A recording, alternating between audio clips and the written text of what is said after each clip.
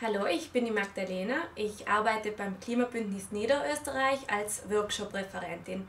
Ich habe euch heute äh, ein Buch für den Monat Oktober mitgebracht. Das Buch heißt Superhenne Hanna und ist von Felix Mitterer. Geeignet ist es für Kinder ab 8 Jahren.